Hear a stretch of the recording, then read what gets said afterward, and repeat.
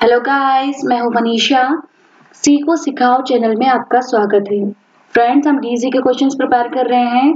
M S access के मैं दो वीडियो बना चुकी हूँ और अब हम पढ़ेंगे आज रिलेशनशिप आज हम ऑब्जेक्टिव क्वेश्चन जो देखेंगे, वो है रिलेशनशिप के बारे में। इससे पहले हम फॉर्म रिपोर्ट के क्या जो यूनिट्स है हमारी, उनको हम कर चुके हैं। अब सेट थ्री देखेंगे हम, जो किसका है? रिलेशनशिप का। ठीक है? तो फ़र्स्ट हमारा क्वेश्चन है रिलेशनशिप में ऑपरेशन होते हैं, यानी कि कौन कौन से ऑपरेशन हो सकते हैं? देखिए define relationship save relationship delete relationship ये तो तीनों ही ऑप्शन सही है। तो हमारा जो आंसर है, वो क्या हो जाएगा? उपयुक्त सभी। क्या हो जाएगा? उपयुक्त सभी। चलिए नेक्स्ट क्वेश्चन देखते हैं। अपेंड क्यूरी का यूज़ क्यों किया जाता है? अपेंड क्यूरी का यूज़ क्यों किया जाता है? देखिए अपेंड अपेंड का मतलब क्या होता है? अगर आपने कुछ एक टेबल का डाटा जो है, वो दूसरी टेबल में लेना है, ठीक है? कॉपी करना है तो उसके लिए अपेंड का होता है। तो हमारा जो आंसर है, वो क्या हो जाएगा? एक टेबल का डाटा दूसरी टेबल में कॉपी करने के लिए। चलिए नेक्स्ट क्वेश्चन देखते हैं। Find duplicate record find duplicate record query का यूज़ क्यों किया जाता है? देखिए हमारा जो फ़र्स्ट ऑप्शन है वो क्या है? डुप्लीकेट रिकॉर्ड को डिलीट करने के लिए डुप्लीकेट रिकॉर्ड को ढूँढने के लिए डुप्लीकेट रिकॉर्ड को अपडेट करने के लिए क्यूरी को क्रिएट करने के लिए। देखिए, नाम से ही पता चल रहा है। फाइंड डुप्लीकेट रिकॉर्ड क्यूरी यानी डुप्लीकेट रिकॉर्ड क्यूरी को ढूँढने के लिए। हमारा आंसर क्या हो जाएगा? डुप्लीकेट रिकॉर्ड को ढूँढने के लिए। चलिए फोर्थ क्वेश्चन देखते हैं।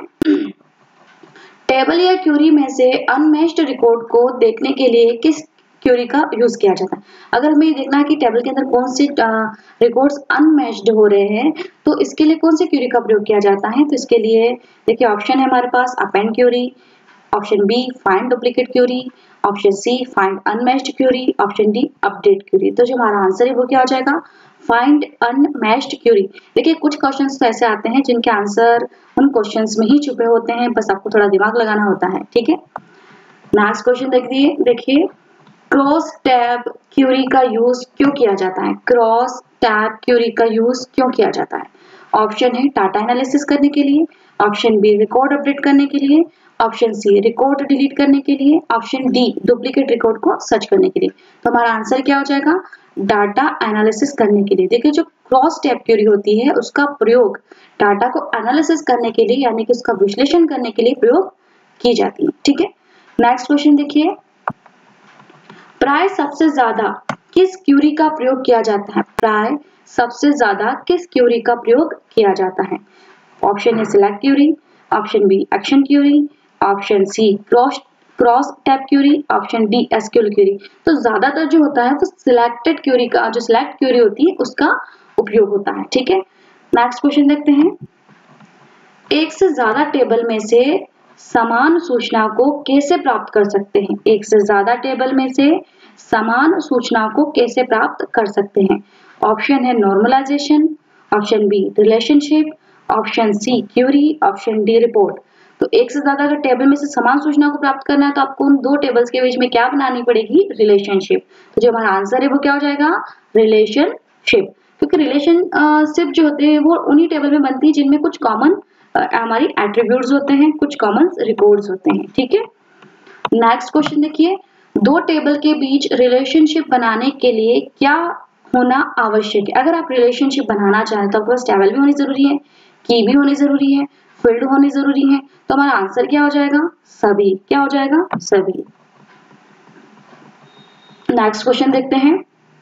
इनमें से किस की के आधार पर रिलेशनशिप बनाया जाता है। इनमें से किस की के आधार पर रिलेशनशिप बनाया जाता है?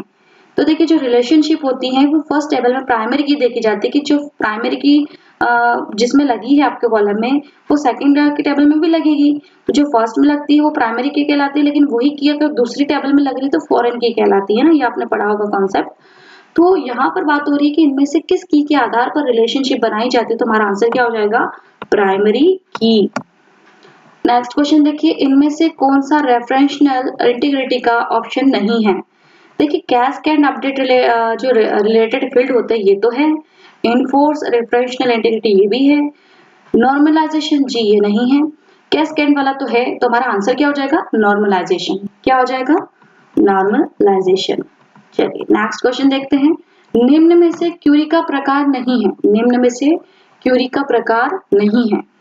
ऑप्शन है cross tab queries option B select queries option C queries by selection option D append queries तो हमारा आंसर क्या है? क्यूरीज बाय सिलेक्शन ये क्या है? इसका क्यूरी का प्रकार नहीं है। नेक्स्ट क्वेश्चन देखिए, इनमें से कौन सा एक्शन क्यूरी का प्रकार नहीं है? Make table cross tab query, delete query, append query. तो जो हमारा आंसर है वो क्या है? Cross tab query. ये जो है, एक्शन क्यूरी का प्रकार नहीं है। नेक्स्ट क्वेश्चन देखिए। क्यूरी डिज़ाइन विंडो का ऑप्शन नहीं है। क्यूरी डिज़ाइन विंडो का ऑप्शन नहीं है। फ़र्स्ट है हमारे पास criteria, option B table, option C sort, option D format. तो देखिए, जो फॉर्मेट है, वो क्यूरी डिज़ाइन विंडो का ऑप्शन नहीं है। तो हमारा आंसर क्या हो जाएगा? फॉर्मेट। नेक्स्ट क्वेश्चन देखिए। डुप्लीकेट क्यूरी विजार्ड इनमें से किसका ऑप्शन है? डुप्लीकेट क्यूरी विजार्ड इनमें से किसका ऑप्शन है?